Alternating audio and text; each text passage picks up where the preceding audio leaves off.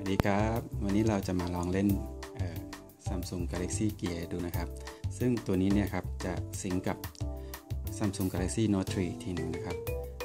หน้าจอแรกที่เปิดเครื่องขึ้นมาก็จะเป็นส่วนของนาฬิกา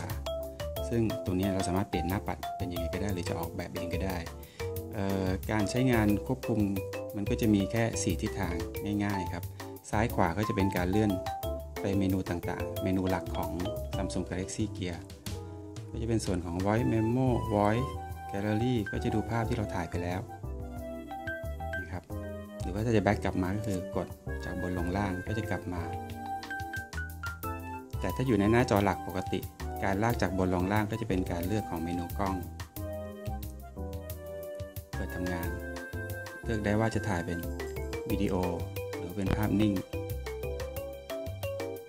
back กลับมาก็คือกลับมาหน้าจอหลัก ส่วนถ้าอยู่หน้าจอหลัก ถ้าจากลากจากล่างขึ้นบน ก็จะเป็นส่วนของเมนูโทรศัพท์ สามารถกดเปิดโทรออกรับเข้าได้ย้อนกลับมาก็เช่นเดิมครับ จากบนลงล่าง ซ้ายขวาก็คือเปลี่ยนเมนูหลัก แอปพลิเคชันก็คือโปรแกรมที่เราลงเพิ่มเติมเข้าไปในโทรศัพท์